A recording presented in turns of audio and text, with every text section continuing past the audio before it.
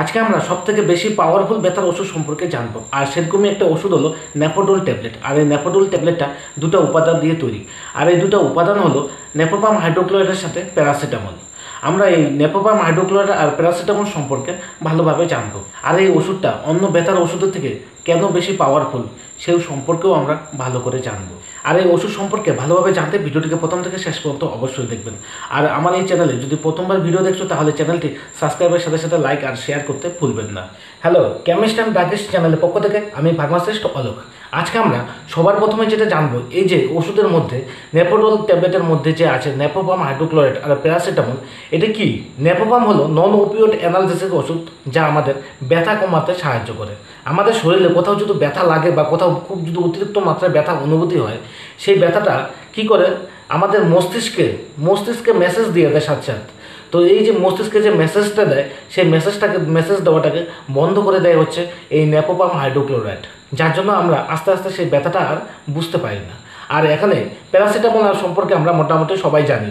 Paracetamol হলো non steroid anti anti inflammatory drug তার সঙ্গে অ্যানালজেসিক অ্যান্টিবায়োটিকও দাগ হচ্ছে এই প্যারাসিটামল এক কথায় এই প্যারাসিটামল নেপোপাম হাইড্রোক্লোরাইডের সাথে যুক্ত হয়ে ব্যথা কমাতে খুব গুরুত্বপূর্ণ ভূমিকা পালন করে। আর এই ওষুধের মধ্যে নেপোপাম হাইড্রোক্লোরাইড আছে থার্টি এমজি আর তার সঙ্গে প্যারাসিটামল আছে তিনশো পঁচিশ এমজি এই ওষুধের ইউ সম্পর্কে আমরা ভালো করে জানব। এই ওষুধটা ইমার্জেন্সি ব্যথার ক্ষেত্রে খুব গুরুত্বপূর্ণ ভূমিকা পালন করে। এক কথায় পেটের ব্যথা বাদ দিয়ে শরীরে যে কোনো ব্যথাতে খুব ভালো কাজ করে হচ্ছে এই ওষুধটা। আর এই ওষুধটি হলো নন ওপিওড অ্যানালজেসিক ওষুধ। যা আমাদের ব্যথা কমাতে সাহায্য করে। আর এই ওষুধের সাথে যদি আমরা ওপিওড অ্যানালজেসিক ওষুধের যদি তুলনা করি, আর ওপিওড অ্যানালজেসিক ওষুধগুলি হলো যেমন হচ্ছে টামাডোল টেপেন্ডাডোল, মরফিন, এটা হলো হলো ওপিওড অ্যানালজেসিক ওষুধ। এই ওপিওড অ্যানালজেসিক ওষুধগুলো যেমন ব্যথা কমাতে সাহায্য করে, তেমন একটা সমস্যা দেখা যায় যে যে ওষুধগুলো ব্যবহার করলে একটা অভ্যাসে পরিণত হয়ে যায়, যা একটা খুব সমস্যার কারণ হয়ে দাঁড়িয়ে পড়ে। কিন্তু, আর এই যে নেপোডল যে ট্যাবলেটটা আছে, নেপোডল ট্যাবলেটের মধ্যে নেপোপাম হলো নন ওপিওড অ্যানালজেসিক হওয়ার পরেও এই ওপিওড অ্যানালজেসিক ওষুধের থেকে খুব ভালো কাজ করে। আর নন ওপিওড অ্যানালজেসিক হওয়ার ফলে হয় কি হয় কি, এই ওষুধটা আমাদের শরীরে হ্যাবিট করে তোলে না। যে একবার ব্যবহার করলে পরবর্তীতে এটা কন্টিনিউয়াসলি ব্যবহার করে যাব, যে এরকম একটা মনোভাব, এই মনোভাবটা হবে না। এক কথায় বলতে গেলে, এই যে ওষুধটা যে আছে, আমাদের পেটের ব্যথা দিয়ে শরীরে যে কোনো ব্যথাতে গুরুত্বপূর্ণ ভূমিকা পালন করে। কখনো মানে দেখা যায় যে কখনো কখনো অপারেশনের মতো একটা অপারেশন হওয়ার পরে এই সেই জায়গা থেকে যে একটা বি- একটা বিশাল বড় ব্যথা বা বিশাল ব্যথা হয়, সেই ব্যথাটাকে খুব সহজে কমিয়ে দেয় এই ওষুধটা। তার সাথে দেখা যায় যে কোনো কারণবশত অ্যাক্সিডেন্ট বা অন্য কোনো কারণবশত হঠাৎ করে কোথাও চোট লাগে যাওয়ার পর অতিরিক্ত মাত্রা একটা ব্যথা হচ্ছে।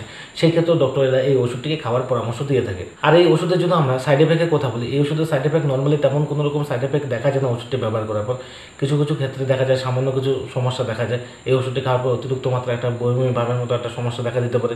আর তার সঙ্গে মাথা ঘোরানোর মতো একটা লক্ষণ, ডায়রিয়া অ্যালার্জিক সমস্যা, কোনো শরীরে লালচে দাগ, চুলকানির মতো লক্ষণ। মুখ, জিবা বারবার শুকিয়ে আসা। যদি এই সমস্যাগুলো দেখা যায়, তাহলে আপনারা ওষুধটিকে বন্ধ করে একবার ডক্টরের সঙ্গে পরামর্শ নেবেন। আর এই ওষুধের যদি ডোজ সম্পর্কে আমরা বলি অ্যাডাল্টের ক্ষেত্রে ডক্টররা একটা করে দিনে দুবার খাওয়ার পরামর্শ দিয়ে থাকে। কিন্তু কিছু কিছু ক্ষেত্রে অপারেশনজনিত ঘটনা বা কোনো সিরিয়াস কোনো ব্যথা পেয়ে যাওয়া, শরীরে চোট লেগে যাওয়া অতিরিক্ত মাত্রায় যদি এরকম সমস্যা দেখা যায় সিরিয়াস কন্ডিশনে ডক্টররা একটা করে দিনে তিনবারও খাওয়ার পরামর্শ দিয়ে থাকে। এটাই ছিল আজকে এই নেফোডল ট্যাবলেট সম্পর্কে আমার আলোচনা। যদি ভিডিওটা ভালো লাগে, তাহলে অবশ্যই চ্যানেলটিকে সাবস্ক্রাইব করবেন।